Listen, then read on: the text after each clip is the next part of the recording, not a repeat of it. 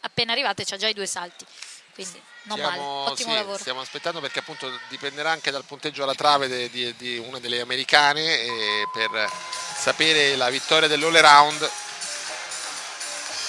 dobbiamo appunto tornare al 2009, quindi parliamo di tanti tanti anni fa per trovare una italiana sul gradino più alto del podio del concorso generale del trofeo Città di Jesolo anche se in quell'edizione appunto non c'erano Stati Uniti, Russia o Cina Wow. o i grandi- le grandi nazioni regine di questa disciplina. Molto bene invece la prima diagonale della ginnasta Ceplinski Maria, un doppio teso molto molto bene eseguito e uno Zuccare, uppala, in seconda diagonale, scusate i versi quando arrivano un po' male, un po' mi, mi- mi si ferma il cuore ogni volta. Uno Zuccare è arrivato un po' basso con le spalle. Un pennello col giro con gamba a 90 gradi e un salto strag.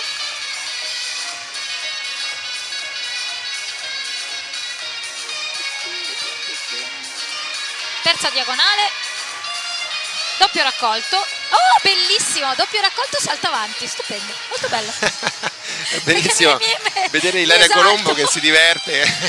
io tantissimo perché quando c'è Ma qualcosa di credo bello che da esatto, vedere tu trasferisca queste tue emozioni anche a casa.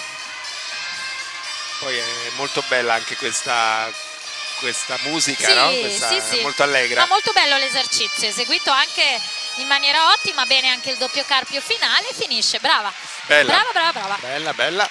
E allora la classifica all around vede al momento in testa sia D'Amato